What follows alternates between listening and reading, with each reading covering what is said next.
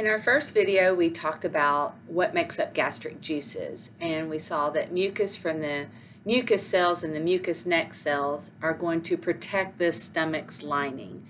Um, from what, right? Well, it's a pH of 2. It could dissolve the cells, and there's these protein enzymes that are getting activated that can eat the proteins of the cells. So, pretty much to protect you from digesting yourself. And then pepsinogen is this um, major component released by chief cells that has to be activated. And once hydrochloric acid comes into contact with the pepsinogen, it becomes a new form of this enzyme called pepsin, where it is active and it can break down your proteins into you know smaller pieces called polypeptides. And then the hydrochloric acid is released by these parietal cells, and that's of course what gives the acidic conditions that the pepsin can work in. And then you have enteroendocrine cells that are releasing um, hormones and help regulate digestion, and then intr intrinsic factors that are uh, needed for vitamin B absorption later in the small intestines. So when you look at the mucosa, it's super thick inside the stomach, and it's bedazzled, if you will, with all these gastric pits. And these gastric pits are the holes on top of a gastric gland. And so if you look at this gland, you can see all these cells. So we are simple columnar epithelial, one layer of columnar shaped cells. And towards the neck, you have these mucus cells, which is why they're calling them mucous neck cells. So we're going to, you know, secrete a bunch of mucus out of this gland your parietal cells, chief cells, and enteroendocrine cells are all down here. So we're making hydrochloric acid, we're making pepsin um, or pepsinogen, and then we're releasing um, hormonal control over pretty much the, the, the parietal cells. So if you look closer, these are closer deep, like deeper into this gland. And um, if you look, these chief cells are releasing the pepsinogen. The parietal cells, they're scary looking, right? So that helps me remember that they release the hydrochloric acid. And that hydrochloric acid breaks pepsinogen down into pepsin, which is that active form of protein, uh, active form of enzyme to break down or digest protein. So we are digesting protein in the stomach. We digested um, starch in the mouth with amylase, um, and now we're here in the stomach finally digesting some protein. If you put meat in your mouth and let it sit around for a long time, it's not changing because you don't have enzymes to break the meat down. Uh, it's not until the stomach does that start happening. So gastric juice is produced continuously, but the rates can uh, varies considerably, and it's controlled by both neurally and hormonally um, processes. So in the gastric glands, the specialized enteroendocrine cells are closely associated, like I mentioned, nearby the parietal cells, and they're um, secreting hormones, specifically somatostatin, and this is going to stop the hydrochloric acid from being um, secreted. So this is a way of negative feedback. Um, another thing that's going to decrease gastric activity is the sympathetic impulses. And so I think of, right, sympathetic as fight or flight. You don't really need to digest anything when you're trying to save your life. So this that sympathetic impulse, it shuts that gastric activity down. On the on the flip side, if you're resting and relaxing, you can digest your parasympathetic impulses are going to increase all that. Uh, gastrin is also inc increased in gastric juice um, secretion. And it says uh, the parasympathetic impulses also stimulate the enteroendocrine cells, mainly the pyloric region, and it releases this peptide hormone gastrin. This increases the secretory activity of all your gastric glands. Gastrin stimulates cell division in your mucosa and your of your stomach and intestines, and that helps also replace um, cells that have been damaged due to um, just normal function because this is a dangerous place your cells are hanging out in, or maybe disease or even like medicines you've taken that have done damage. And then um, parasympathetic impulses and the gastrin promote release of uh, a paracrine called histamine, and that also stimulates additional gastric secretions. They occur in three stages cephalic, gastric, and intestinal phases. And um, these are based on what controls the stomach, the brain, the stomach itself, and the intestines. And so um, this is just a picture of the regulation of the secretions. So impulses conducted by your parasympathetic uh, preganglionic nerve fiber. Um, so we're talking about the vagus nerve is stimulating the mus uh, the, the stomach, and then parasympathetic postganglionic impulses stimulate the release of these gastric juices from the glands. And these impulses stimulate the release of gastrin into your bloodstream, and that in turn stimulates the glands to release more gastric um, juice. Not a big deal, but kind of interesting. And then, as I mentioned, the three phases the cephalic phase, the gastric phase, and the intestinal phase. So, what are they talking about? The cephalic phase begins before food even reaches the stomach and maybe even before eating. It could be just the sight, the smell, the thought of food is going to start triggering this. And gastric juice is secreted in response to that. In the gastric phase, um, this accounts for most of the secretory activity, and this starts actually when food does enter the stomach. So the presence of the food, and as the stomach starts to distend that wall, um, that triggers the release of gastrin and promotes more gastric juice. And as food mixes with all that, the pH of the contents rise, and that enhances gastric secretion. Um, when that pH, uh, when the pH of the stomach content drops, um, will eventually drop, and uh, as it approaches like a 3.0 pH, the gastrin is inhibited. But when it gets back to about 1.5, sorry, when it reaches 1.5, the gastrin secretion um, actually stops. And then the intestinal phase of gastric secretion begins when the food leaves the stomach and enters the small intestine. And when the food first contacts and stretches the intestinal wall, it stimulates intestinal cells to secrete hormone, hormones that briefly enhance gastric gland secretion. So now we're going to talk about gastric absorption. As gastric enzymes begin breaking down these proteins, the stomach wall is not adapted to absorb anything. Uh, no, or I, I shouldn't say anything. It doesn't absorb very much at all. The stomach absorbs only small volumes of water, certain salts, and a few lipid soluble drugs. Uh, most of the nutrients are going to be absorbed in the small intestine. Now, alcohol, that's not a nutrient, that's actually a waste product of um, fermentation is absorbed both in the small intestine and in the stomach, and aspirin is also absorbed in the stomach. So add aspirin to your list of things, okay? So the mixing of food in the stomach with the gastric juices produces this paste we call chyme, and sometimes you'll hear it called acid chyme.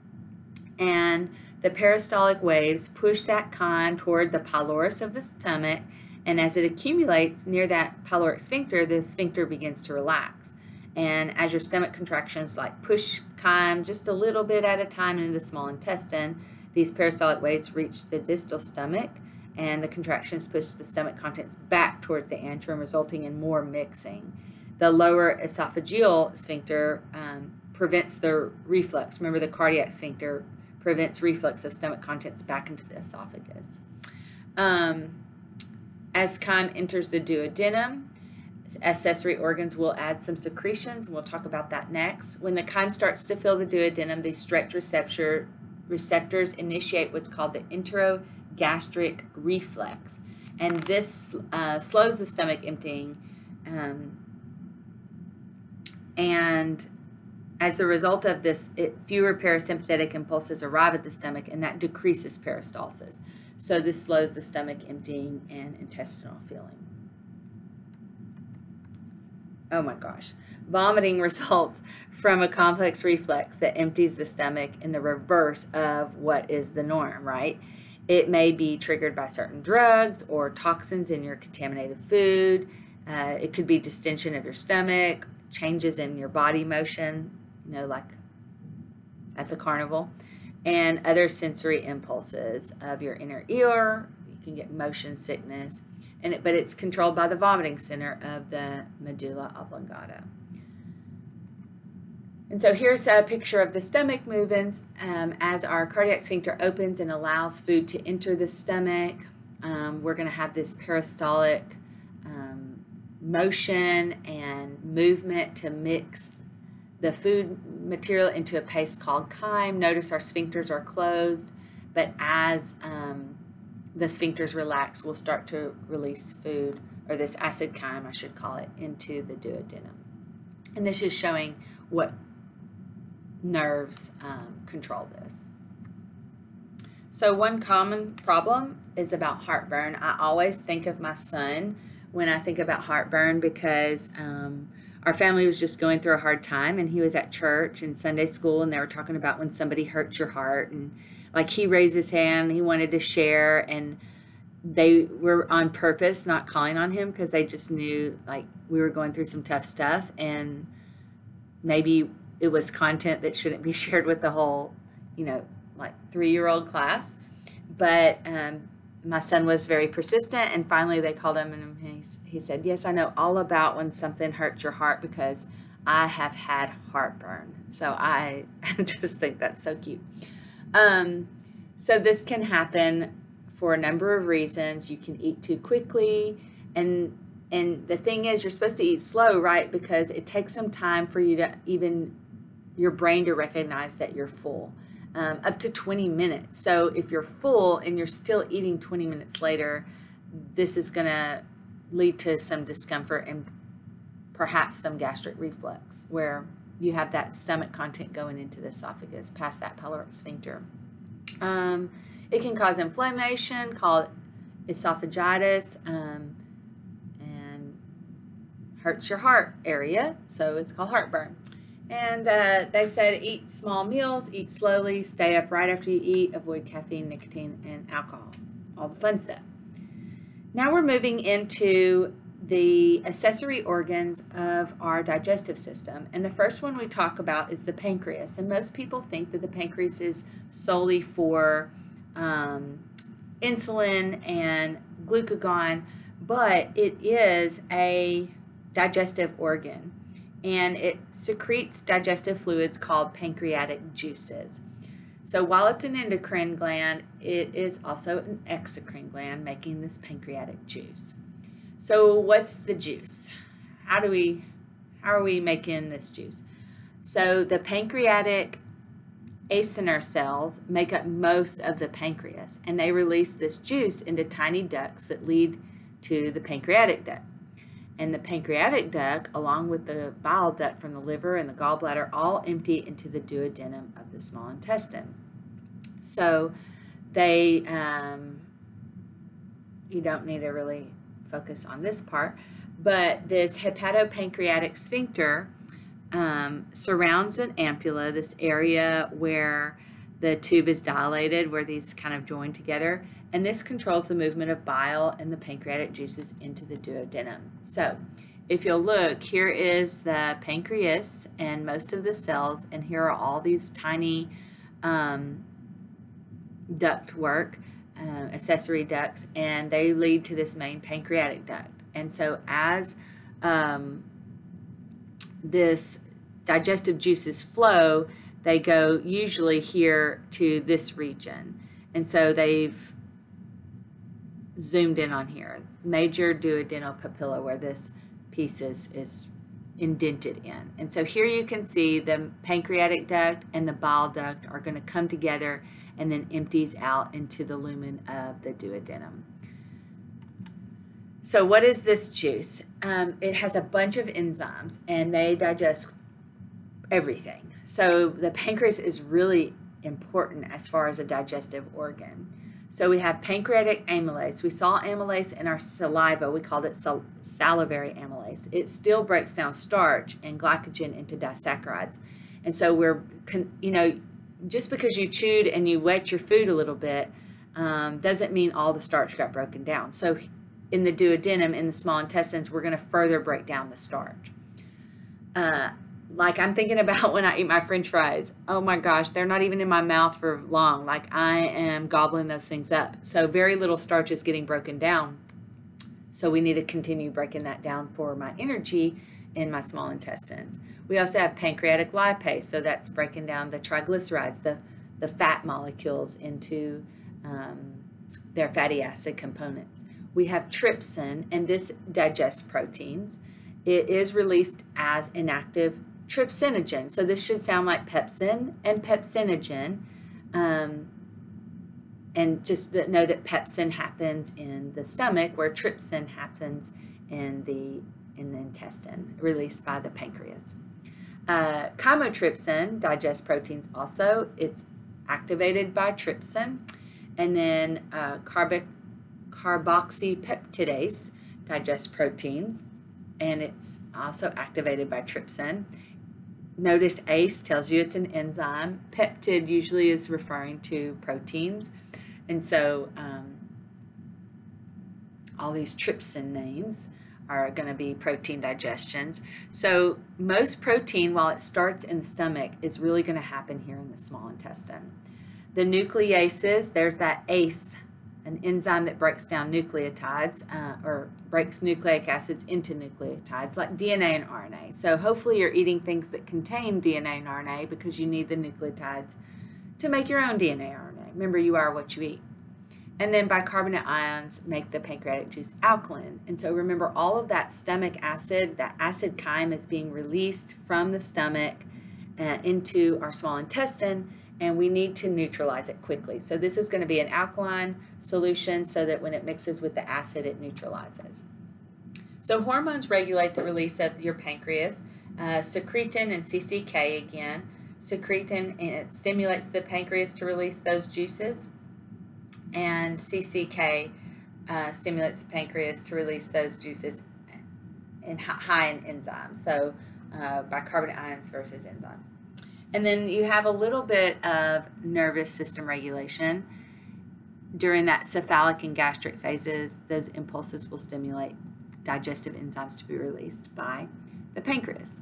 So they're showing that acid chyme has just left our stomach, went through the sphincter right here, in the duodenum, and then uh, the intestinal mucosa releases secretin into your bloodstream. That stimulates the duct cells um, to secrete the bicarbonate ions, and then that passes down these ducts to the duodenum and helps neutralize the acid there. Our next accessory organ is the liver. It's the largest internal organ. If you ever have dissected anything, you know that liver takes up a lot of space. It's in the upper right abdomen. Um, it's right below the diaphragm. It's very pigmented because it's got all this vascular tissue associated with it. So the liver has four lobes, and I wouldn't have you focus on that at all. But um, each the lobe consists of these other smaller lobes called lobules, and they are the functional units of the liver. So they contain, contain hepatocytes. Now, anytime you see hepat, like hepatitis, is inflammation of the liver. Hepat means liver, so these literally means liver cells. They are found around a central vein, and then you have some hepatic sinusoids, which are little channels. Um, oid means like, sinus is a space, so little space-like places in the liver. And then you have a portal vein that brings absorbed nutrients to this these little spaces. And of course, an artery bringing oxygen-rich blood. Um, and the blood flows from those sinusoids to the central vein and back to the hepatic veins. Here's the big picture. Star, this this is just how, you know, we're we're moving blood and the exchange between the cells is happening, but this is really what I want to you to focus on. Bile flows from the ductules to the hepatic ducts and then to the common hepatic duct. So this is um, where we're, we're making bile. Now, these are just showing all the lobes. I don't really want you to focus on that. Okay. But so we're making bile. Um, you can see this little bitty bile duct here and all these branches. Um, let me think.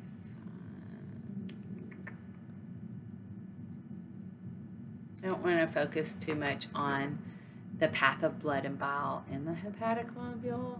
So we're just going to move on and talk about the importance of the liver.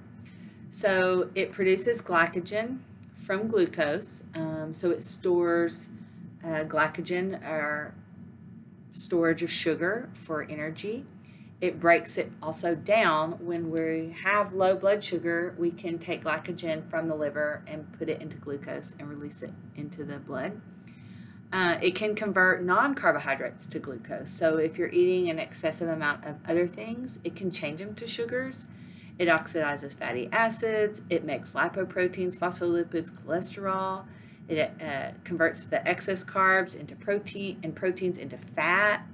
Um, takes amino acid, amino group off amino acids. It forms urea. Oh my gosh, synthesizes plasma proteins, converts amino acid to other amino acids, stores glycogen, as we mentioned. Um, it stores iron, a bunch of vitamins. It has phagocytosis going on. It removes toxins from the blood. It acts as a blood reservoir because of all the vascular tissue. And the main thing we're talking about now is its role in digestion to secrete bile. And so that is um, really what I wanted you to, to know that the, the liver is what makes bile. So let's see if there's anything here we need. If cancer spreads to your liver, life can continue only weeks to months. It's so important to your health. Um, you can get a piece of someone's litter, liver and it does regenerate. Um, cool information, not for our test. So let's, this is what we want to focus on is what is bile? Um, so it's this yellow-green liquid, liquid from hep hepatic cells. Remember hepatic, hepatocytes. And so they're constantly secreting this bile. So bile is mainly water, it's liquid, but it has a bunch of bile salts and their job is to emulsify fats. So they kind of break fat from big fat structures into smaller fat structures. Um, and, and that's the only really digestive function. It has some bile pigments like bilirubin, biliverdin, all from hemoglobin. Um, it has cholesterol in it, it has electrolytes in it. Hopefully, you've learned about jaundice before. Jaundice is an issue, usually some disease associated with the liver, like cirrhosis or hepatitis, and you are not able to break down the bilirubin. And um, we see this in children, right? And they go sit them in front of a bili light because UV does break down bilirubin. So hepatitis is, hepatitis is inflammation of the liver. There's a bunch of different types, and they vary in their severity. Um, often most often it's due to a virus and they can be symptomless, right? Some are bloodborne. I have a close family member that had um, a blood transfusion back in the late 70s, early 80s, before before 1982 when they started testing blood and they contracted hepatitis from that blood transfusion. So there's hepatitis A. This is transmitted by contact with food or objects contaminated with feces containing the virus. Hepatitis B, transmitted by contact with body fluids containing the virus. Hepatitis C, transmitted through blood contact. Um, half of all known cases are hepatitis C, so that is the one that my um, person that I love has. So what the crap is the gallbladder? It's this little bitty pear-shaped sac, inferior surface of the liver. It has a cystic duct. Um, it's the only entry and exit duct of the gallbladder and it merges with that hepatic duct and form what's called the common bile duct. And what its job, like any bladder, it's for storage. So bile isn't made in the gallbladder, it's made in the liver, but it is stored here in the gallbladder. So that is something to correct in your mind. If you ever thought gallbladder makes bile, uh, no ma'am, no sir, it stores it. And that's where bile can just get concentrated. It is actually created right in the liver, like we just learned. So it releases bile into the duodenum of the small intestine through the bile duct at the hepatopancreatic ampulla, where those come together. There is a sphincter that regulates the bile being released into the duodenum, and I'm sure you've heard about gallstones. So the gallbladder normally concent uh, concentrates these bile salts and those pigments and cholesterol but sometimes the cholesterol precipitates and it forms these crystals, and those can enlarge, and that's called a gallstone. Excess bile concentration is one cause. Too much cholesterol released is another. Inflammation of your gallbladder is another. And it's all um, regulated by uh, cholecystokinin, which is a hormone. And so here you can see a gallbladder with the gallstones in green. And the regulation of bile released by CCK, not important for us. So what does these bile salts do? They help in digestion through emulsification, which is, like I mentioned, the break of a large fatty globule into smaller ones, and then you have more surface area for the lipase to work. And so it's going to help absorption of your fatty acids and cholesterols by forming these little micelles, these tiny droplets of fat. And um, of course, helps fat soluble vitamins like A, D, and A, D, E, and K be absorbed. And almost all of these salts are um, recyclable. So you can have some gallbladder disease, and um, symptoms would be pain and nausea and sweating there are some tests. You would look at an x-ray or, um, and, and you're looking for these like gallstones. And then treatment, you can remove the gallstone or do endoscopy to find them and remove them from certain areas. So here are some hormones of the digestive tract, where they come from and what they do, how they control digestion, in other words. So in the small intestine, we have left this pyloric sphincter, which um, sent that acid chyme from the stomach into the duodenum. And it's going to go all the way till you get to the large intestine. It fills up a lot of the abdominal cavity. This is what you think of when you think of intestines, all those long tubes. And they're getting that, like I mentioned, the chyme from the stomach and they're getting all these secretions from the pancreas and, and from the liver or from the gallbladder if it you know was stored there and this is where complete digestion of the nutrients happen and this is where most of the absorption is going to occur and anything that wasn't absorbed the remaining trash is sent on to the large intestine now there are three parts of your small intestine the first part which we've mentioned a lot is the duodenum and then the jejunum is the middle, thicker, more active part. And then the ileum is the distal part. And that's where we find those Peyer's patches. And Peyer's patches we talked about are these lymphatic nodules that increase as you go down the ileum. And what they're doing is they're uh, masses of um, immune cells and, and phagocytes looking for bacteria because you're going to have some bacteria living in the larger intestines. And so this ileum is getting really close to that. So you have these Peyer patches um, start to show up. The jejunum and the ileum are suspended by some folds of your peritoneum called the mesentery. And it has lymph and blood vessels and nerves um, that attach to the intestine wall. So it's kind of like a sheet hanging it up. The double fold of that peritoneum is called the greater omentum. It drapes down over the stomach and over the large intestine. And so here you can kind of see this mesentery that has all this vascular nerve and lymphatic stuff. Um, and so it's kind of hanging on and suspending the small intestine. And so you can see here's the stomach, and we go through the sphincter to the duodenum. And then once you're getting suspended, you know you're at jejunum and this is the majority of it and you get down here to the ileum and you're headed to the large intestine and so here's kind of um, some pictures and you can see this greater omentum this like drape if you will covering up the the intestines so there are tiny projections of the mucosa called intestinal villi and it's all about surface area Remember, in the stomach, we had little creases or whatever, but that was to distend the stomach. This is for surface area. This is for absorption. Small intestine, write this down. This is where absorption happens. This is the major place of digestion. It is the, it's the digestive club, okay? So each of these little villi, uh, villi is plural, so villus is singular, has simple column epithelial, with some connective tissue, lots of blood vessels because we need to absorb all these nutrients. Um, lacteals are there for lymphatic capillary absorption. of fats, and then there's nerve fibers, of course. And then on these epithelial cells contain microvilli, so even more surface area for more absorption.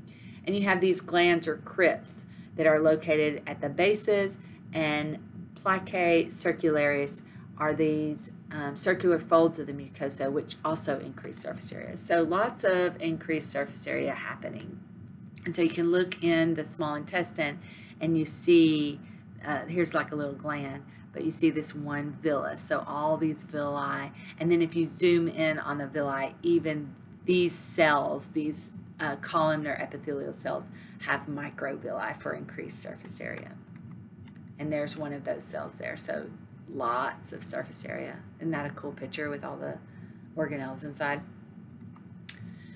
And the plicae circularis are even more folds. And so you've got these ring looking structures. Um, it is all about absorption and digestion here in the small intestine. So what secretions are being released in the small intestines? Well, there's like water and mucus and a bunch of enzymes to do this digestion. So mucus secreted by goblet cells, and it's alkaline mucus. We're just make, protecting our small intestines. Um, and of course, we want this to be flu, fluid structure, so things are moving um, well in our small intestines. And then the enzymes, look at all these ACEs. So ACE means enzyme. Peptidase, what I tell you about peptid, think of proteins. This is breaking down proteins. So uh, all our other enzymes, protein enzymes like trypsin and pepsin and all of those, they broke huge proteins down into polypeptides. Well, the peptidases are now taking those peptides and breaking them into monomers called amino acids. Sucrase breaks down sucrose, maltase breaks down maltose, lactase breaks down lactose, breaking down all those disaccharides into monomers, the monosaccharides. And then lipase breaks down the fatty acids uh, fats into fatty acids and glycerol. So lots of enzymes. Um, what are we breaking down? We're breaking down protein, sugar, and fat. So wow, here is the summary of the major digestive enzymes from the mouth all the way down, um, and then like where they come from and what they do. So what regulates the small intestine secretion? um, its response to mechanical stimulation. So this this movement um, happening as chyme uh, stimulates the goblet cells to secrete more mucus because we know that acidic material is coming, so we need to protect ourselves. Um, as the wall is distended, it activates nerves in the small intestine, and that's going to trigger intestinal enzyme to be released as well as peristalsis. So what's happening in the small intestine? We said a lot of digestion and a lot of absorption. And it's really the name of the game here again is surface area. It's, um, I mean, so much of it is absorbed, very little just keeps going. So it says carbohydrate digestion absorption. Salivary pancreatic amylase break down the starch into glycogen and into the little disaccharides. Your intestinal enzymes break down those disaccharides into the monosaccharides, and those are absorbed by diffusion into the blood through the villi. Protein digestion, pepsin in the stomach breaks down proteins into polypeptides, and then you have your pancreatic proteases that break down proteins into polypeptides, and then in the intestines we have the peptidases breaking the peptides into the even smaller pieces of amino acids, which are absorbed through the villi. And so this is just showing the chemistry of like a disaccharide, uh, maltose, um, and the enzyme maltase taking this maltose and breaking it down into two monosaccharides, in this case glucose. And then uh, a dipeptide, two amino acids being broke down into two amino acids by an enzyme. Fat digestion absorption, so remember we have emulsified by the bile salts and digested by, from pancreatic and small intestine enzymes um, into glycerol and fatty acids, and then those absorbed um, through the lacteals, the actual lymphatic capillaries of the villi. The micelles, um, remember those little bitty fatty acids in the bile salts that they can migrate to the microvilli, and those are also absorbed. And then new triglyceride clusters are encased in a protein called um, chylomicrons, and those are absorbed also by the lacteals. And so here you see uh, this glycerol and the three fatty acids and with lipase breaks it down into the separate three fatty acids and glycerol. And this is just showing like uh, the chylomicrons and fatty acids being absorbed um, through the the lacteals and, and in the um, epithelial tissue. And so this is how the intestine absorbs these nutrients. So how are we moving things? Well, it's through peristalsis, of course, that um, propelling movement of milking things down the small intestine, and also segmentation, because you've got some ring-like movements going on. The parasympathetic impulses are, are stimulating this, and your ileocecal sphincter joins the ileum of the small intestine to the cecum of the large intestine. And so that's what's controlling the movement from the small intestine to the large intestine which leads us to the large intestine. Um, not named because it's actually longer or more important, it's just greater in diameter. It's only 1.5 meters long, uh, pretty short compared to our large intestine, but um, it does, it is eventually, you know, it is important, um, but it's not named by the length, but by the diameter. Its main job is to absorb the water and the electrolytes. So we've taken all the proteins, the nucleic acids, the nucleotides, the glycerols, the carbohydrates, the amino acids, the fat, everything's taken out. All we have left is the water. And so um, that's what we're going to do. We're going to make feces here, right? So there are parts of the large intestine. There's the cecum, the colon, um, the rectum, and then the anal canal. And so, usually, when people talk about the large intestine, they're talking about the colon.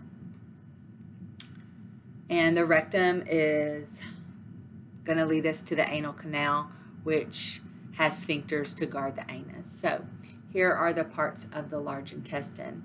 So, here's this ileum, right? So, we're going to have a, ileocecal, ileum, cecum, sphincter that controls the movement all that's really left is waste, water, and electrolytes. And so this um, comes in here and um, goes through, you know, it's kind of a frame around the small intestines are going to be here. And it goes through this ascending colon, that means go up, transverse colon, go across, descending colon, go down. Um, you see all these bulbous structures, they're called haustra. They do increase the surface area a little bit to, of course, increase absorption. Your sigmoid colon, because it kind of makes an S shape. And then you get to your rectum and finally your anus. And so here's a picture of the large intestines, rectum, and canal. So the wall is the same four layers as the alimentary canal because it is part of the alimentary canal, but we don't have the villi, we don't have the plicae circularis. We do have these bands of muscle that run the entire length of the, the colon and they create these pouches called haustra and that's going to help us form the feces. And so you can see um, the four layers and the lumen of the large intestines has little or no digestive function, but it still has these goblet cells. So we're still making sucra, uh, mucus to um, lubricate really the feces that is forming uh, to leave. And this is where 90% of your water is being absorbed back into your blood. Uh, it does have intestinal flora, so these are bacteria, uh, some types of E. coli are here that are going to break down cellulose because we don't have cellulase. You know, we don't have that enzyme. um, but they do, so they can break down some cellulose for us. We call that fiber. And they also produce vitamins for us. So these bacteria are important. Um, I worry about people who take a broad spectrum antibiotic because it can kill the intestinal flora and then you have some digestive issues. Eventually, the purpose of the large intestine absorb water electrolytes, form feces, and defecate. You might have a little intestinal gas due to mainly the bacteria in your intestinal flora and what they're eating, and that's where that unpleasant odor comes from. And so here you can see the goblet cells making the mucus to move the feces on through. Um, the movements are similar to that of the small intestines. They are going to be a little bit slower, and we have mass movements of peristaltic waves uh, which usually follows a meal, and then there's the defecation reflex, which actually eliminates feces from your body. It inhal- it's weird to think about. It involves holding your uh, a deep breath and then contracting your abdominal muscles. That moves your feces into your rectum, and then peristaltic waves kind of do the rest for you. So, what is feces?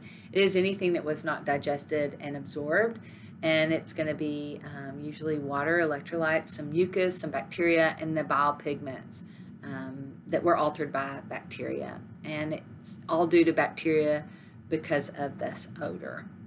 There are disorders of the large intestines like diverticulosis um, and then inflammatory bowel disease, uh, ulcerative colitis, Crohn's disease, colorectal cancer. Um, the fourth most common cancer in the United States. So we need to be aware and um, proactive on that. And then there's all the lovely life change life changes that happen as you get older with your digestive system. So for this week, you should listen to the lectures and do the practice on the digestive system. No lab this week.